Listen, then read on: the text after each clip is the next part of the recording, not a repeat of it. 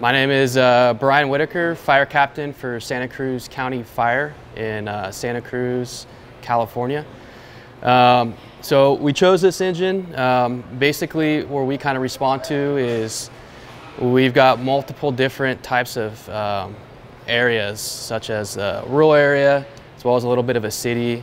Um, so it kind of is a little bit of a hybrid to cover both functions of what we do. Um, kind of starting at the front of the engine.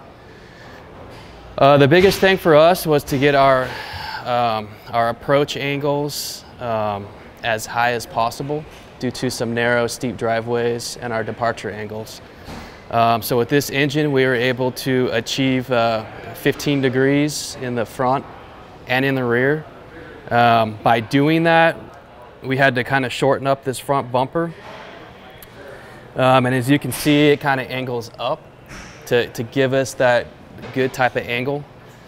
Um, in the, the front, we've got two different types of sirens. Uh, we've got our mechanical here, and then we've got the electronic on this side. Uh, we've got a box, um, which will hold 75 to 100 feet of inch and a half. Um, primarily this will be used for our trash fires, vehicle fires. We do have the ability to pump and roll. Um, so for mobile attack on a wildland incident, we will have a, a shorty 20 foot stick, an inch and a half, where we do have that capability of uh, pump and roll. Um, other features of the front we went with is we put a couple grab handles up here for the firefighters in the morning, cleaning the windshield. Uh, we got away from putting their hands on windshield wipers and ripping those off the rig. All LED lights in the front. Um, we've got the tow receivers. Kind of moving over to the corner. Um, we did come up with an idea to have um, what we call the cornering lights. So these lights have a switch we can turn on and off if need be, or they're activated by the blinkers. So left blinker comes on, this light will automatically come on, and that'll clear up that dead dark zone in this corner that typically happens. Or for approaching addresses, stuff like that, um, this will light up those addresses for us. Kind of moving over to this side, um, we've got the electronic keypad um, to make access into the vehicle. Uh, we did put the Kussmaul down here in this section here. We were just kind of tired of always getting caught up with the charging cord in the way of the door as you're accessing the engine. So putting it up front eliminated that issue.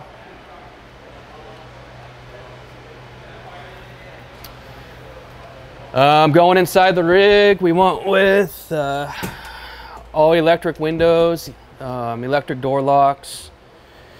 Um, as far as our code 3 stuff goes, um, we do deal with fog every now and then um, where we're at. So we do have a switch up here that will eliminate the white code 3 lights to um, kind of help with that reflection that we're getting back in our face when we're in a foggy atmosphere. Um, along with all of our switches for our scene lighting, the officer side also has those same switches. So they can activate as need be. We do have an aux pump. So with that secondary pump, that gives us our pump and roll capability. Um, you have controllers down here that you can fire up that um, on the way to the call if need be. Um, went with the uh, uh, pre-wired headsets. And then along with that, I'll, I'll, show you when we get back there, but we did go with a camera in the back of the engine. Um, cool feature with that is it, it does have a microphone built into it. So as we're backing up and you have that backer, he can talk to you and you can actually hear what he's saying inside the cab. Um, so just an extra kind of safety feature. Um, as far as gear went, we were, we were sick of cram in all our safety gear in the cab. We wanted to get it in a steel compartment and out of the cab. So engineer side has their own gear compartment here. Um, that's where they'll store bunkers, web gear, all that kind of stuff. It's sealed, so we don't have to kind of smell anything in the cab. moving to the back, we wanted to create that same type of effect for the firefighters in the back as well. So we had uh, Pierce build this custom box for us. So it's split. So the top portion is for the firefighters in the back. They have their own gear compartment back here um, that they can store all their gear in as well. So our goal with that is now we should have a free cab, no loose gear, everything secured in one spot. Um, so pump panel stuff, um, as far as our water gauges, we ended up going with a total of four. So we've got the big ones, one on each side of the engine, and we've got the smaller one, one located on the pump panel, and there's another one also in the cab um, as well. Cross lays, our goal was to bring these down as far as possible um, to, again, eliminate people having to climb up on things to pull hose. So we drop these down. Uh, we've got two inch and three quarter um, cross lays, 200 feet. And then we ended up going with a dead lay with a two and a half. Um, that'll also be a 200 foot, uh, two and a half. Um, so all your hose will be in the same spot right here. With that aux pump, we went with the reel line um, booster line. Um, advantages of that, quick, easy. You can deploy trash fires. You're on a grass fire, um, kind of those nuisance fires, quick, easy to deploy, hit a button, rolls it right up. Um, pump panel stuff, um, again, all of our scene lighting is in one spot on the panel. Um, you do have other switches over the driver's head and the officer's side. And it's a, it's a three-way switch. So you turn it on in either spot, turn it off in either spot. It all talks to each other. Trident air primer, um, we went with that. Yes, so the, uh, for our supply line, um, will be stored here. We went with a floating tray. So if for whatever reason we come in contact with the ground, it's not gonna just totally wreck this whole kind of structure. Um, it'll give and, and come out to prevent anything. Uh, moving forward, engineer's compartment, we went with a reverse hinge. Uh, just makes sense, so you're not fighting a door. Sliders for all your brass and appliances. One with a air compressor. Um, it is tied into the Kussmaul. So if the engine does have an air leak or you're losing air overnight, once you're plugged in and the engine senses you've dropped to a certain PSI, this secondary compressor will automatically kick on and fill those tanks up. So you should never have low air alarms ever going off. You'll always have a, a full tank of air. As far as the, the, lighting on the rig, that was one of our big things we did upgrade. Um, working in that kind of rural area at times, um, light, you can't have enough light. So we went with light everywhere on this thing, um, from our backup lights to our scene lighting. Um, this thing is lit up everywhere.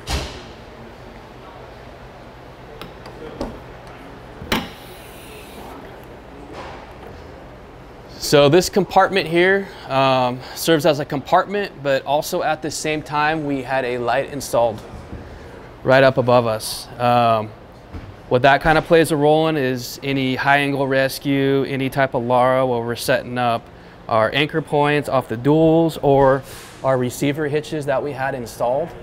We now have overlight or light overhead um, to help us kind of set up in, in the middle of the night or wherever we're dealing with. Um, this compartment here, we've got uh, 120 running here um, for charging um, all our extrication tools, um, vent fans are all battery powered. Um, so this is where we'll host all the batteries and the charging ports for all our batteries that we're using. Uh, moving on to the back, um, we do have a rear scene light switch. You can activate it just from here if need be. I'm um, kind of moving over here. One with the Stokes container. So this will carry our Stokes basket. Uh, single load, uh, inch and a half, inch and three quarter. We can go here. Um, three inch, and we carry four inch LDH on this side. Um, this will hold our backboards. Um, here is our camera. mounted, like I said earlier. It, it does have a mic hooked up to it. Um, being where we work in California, the wildfires are um, a, a, thing we're always dealing with. So with the WUI um, Wild Urban Interface doing structure protection, we've added these uh, WUI bars. So in the case we do have to deploy for structure protection, these things will extend out, they'll pin. You can hook your hose, protect that house. As soon as that threat's been mitigated, roll your hose back up, throw it back on the rack, go to the next house and repeat the same thing. Roll up compartment here in the back.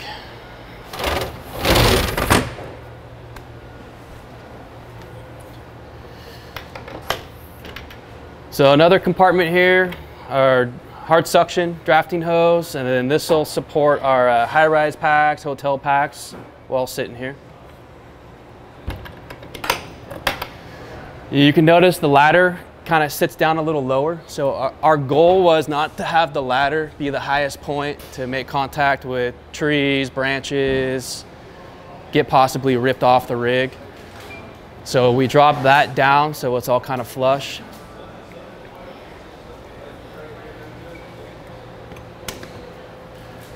Uh, moving forward, again, trying to use every bit of space available. Um, we created this kind of cubby here, which kind of our New York hooks, pike poles, um, rubbish hooks, all those tools we're able to store right in this compartment here.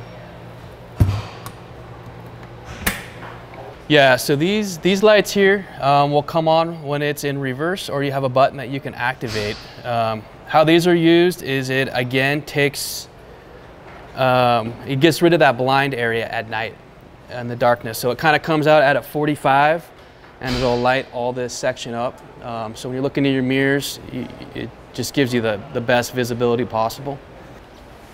Again, another light above us if we're doing it over the side on this side, as well as a receiver hitch that we can utilize for an anchor point. Another reverse hinge coming out. This will be the EMS compartment. Uh, we do have 120 um, plugged in up top, so that can charge our suction unit um, and other things that we feel necessary. But we want with plenty of room. Um, we were kind of tired of trying to stuff all these med bags into a small compartment, so we should have plenty of room in there now. Yeah, so the, the top lights are, uh, they call go lights. Um, so basically there's controls for the officer and the driver on each light. Um, they'll do a full 360 up and down. Um, primarily we use those for trying to locate power lines down or um, anything where we need a good spotlight that we can try to move. So the handrails, um, we ended up going with the LED uh, lit up handrails. More of another safety feature at night. Um, they're on the whole rig, on the back of the hose bed. Um, so when we're climbing in and out, um, it's all lit up for, for the guys.